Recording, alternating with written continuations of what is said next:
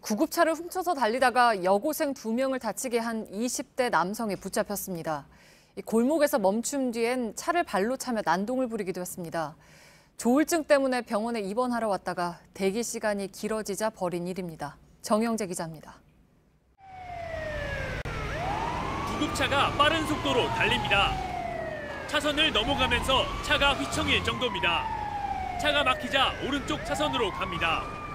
그리고 다시 차들 사이로 비집고 들어갑니다. 어제 오후 5시 30분쯤 21살 박모 씨가 구급차를 훔쳐 타고 달아났습니다. 평소 앓고 있던 조울증 때문에 입원하려고 대학병원에 왔다가 대기 시간이 길어진다며 벌인 일입니다. 박 씨는 2km 떨어진 이곳까지 구급차를 몰고 와 난동을 부리다 경찰에 붙잡혔는데 사람들이 많은 이 골목을 빠르게 달려오다 여고생 두 명이 다쳤습니다. 위도 벗고 욕하면서 달려갔다가 와서 뭐 행인들 위협하고 욕하고 그리고 그 구급대 차 있잖아요. 그 문으로 부시 그 발로 부시고 그러고 다시 타서 저쪽으로 막 엄청 빠르게 달려갔어요. 박 씨가 몰았던 구급차는 가로등을 들이받으면서 문이 고장나 열리지도 않습니다. 난동을 부리던 박 씨는 10여 분 만에 붙잡혔습니다.